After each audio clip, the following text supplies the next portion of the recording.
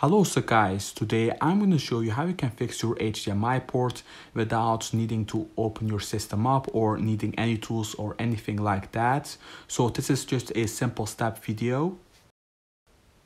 So sometimes people open their systems up and think there is something wrong with HDMI itself, but sometimes there's nothing wrong and it could be something else too. So the first thing you want to do is you want to go to your HDMI port and you want to get a flashlight or anything like that and then you want to zoom in. So once you zoom in you want to know that there is nothing damaged in it. So if there is nothing damaged in it it means that your HDMI is still working.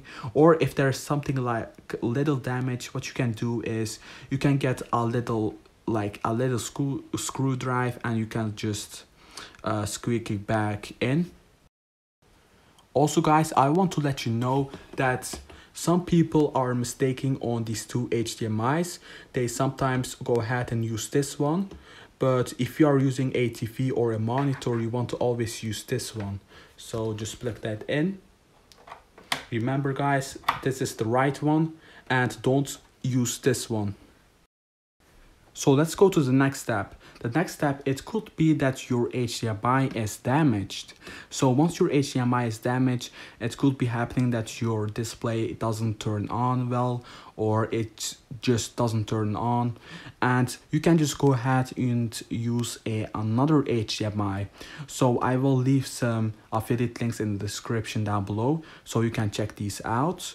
You can always use these if these are broken or if these don't work anymore. For example I'm gonna show if these cables are like bulking in or if these like standing like this it could be happening that inside of these cables something is broken or something is wrong so guys, let's go to the next step.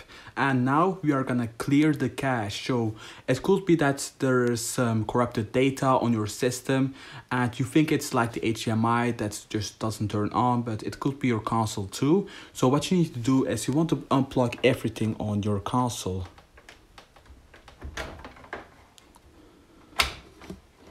So just unplug everything and then what you want to do is you want to go to the big power cord.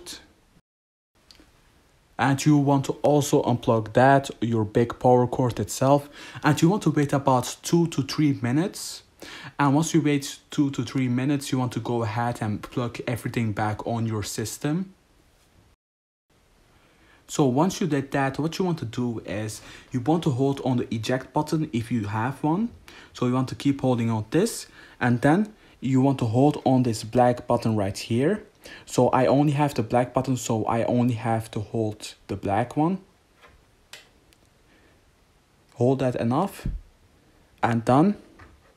Just press it once. Keep holding and once you hear it two times, it means that your uh, console is on safe mode. And now try to look at your um, HDMI or go to your TV itself and see for yourself if it's on. By the way guys, if you can like and subscribe, you maybe get a little bit more luck by helping me out. And now what you want to do is you want to click on continue. So once you do continue and you still see a black screen you want to go back to your troubleshoot what I just did. And then you want to click on reset this Xbox. So let's do that and now it will tell you keep games and apps. So it will just delete everything on your console and that's the bad part of this fix. So this is the last fix and this is like the last thing that you want to try out. And like you see, it could happen that there is some saved data or corrupted data that may corrupt your system. So it could be happening that your HDMI port isn't the problem itself. It could be something else too. But if you want to go ahead and open your Xbox One up, it's alright, but it's gonna take a lot of time. So it's gonna take about like an hour or two to open it up and replace the HDMI. But you can also just do this if there's no option at all. So it will delete everything on your console. It will be like a brand new console and that's just it. So thanks for watching guys. Please like subscribe and comment down below. And take care of yourself guys. Goodbye